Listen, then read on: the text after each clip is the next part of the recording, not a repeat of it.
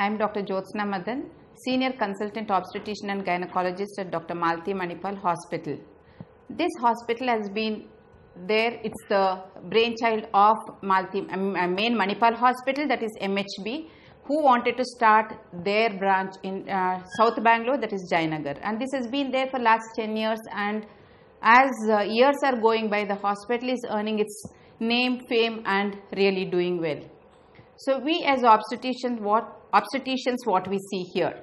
We see a lot of young population around this part of Bangalore and we see a lot of youth coming with so many obstetric complications, obstetric problems or for that matter even preconceptionally they come and where we encounter that they could be having no risk factors or um, some risk factors or definitely high, very high risk factors. So when it comes to pregnancy, if everything goes on smoothly, it is fine.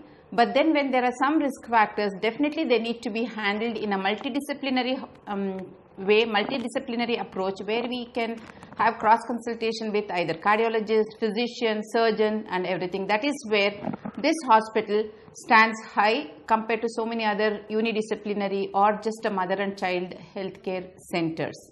So we have a lot of support from our administrators also in the form of arranging blood whenever it is required and we also have support from our anesthetist team and uh, intensive care unit team where in cases of very high risk pregnancies we definitely can rely on them and we are able to perform surgeries or deliver such patients here with a lot of protection uh, available from all of them.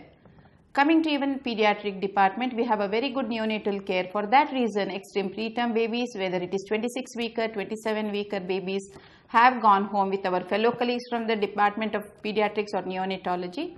So, we are able to perform deliveries in such cases also uh, to give them lot better opportunities of carry home a healthy baby.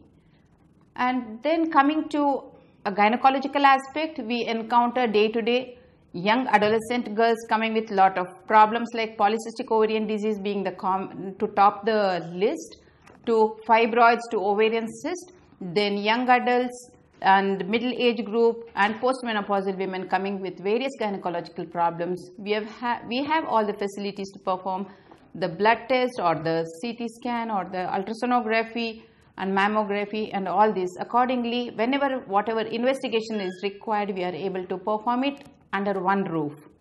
And we are able to take action according to the condition according to the reports available. And we also have a good uh, endoscopy team.